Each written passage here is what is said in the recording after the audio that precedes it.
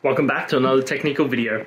Today we'll be going through your question, answering it, and hopefully finding that solution that you need. Guys, remember to stay just a little bit crazy like me, and hopefully you find that resolution you need. Anyway, let's continue on.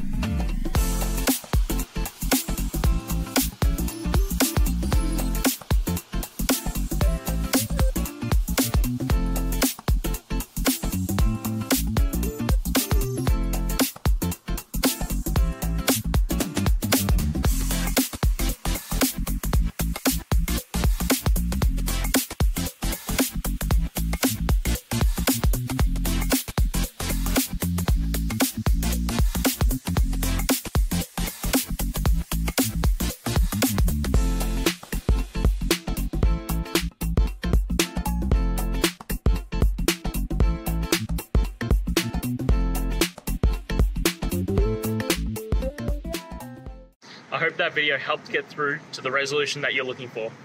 If it did, please hit subscribe. I really appreciate it. And until next time, I hope you have a great one. Cheers.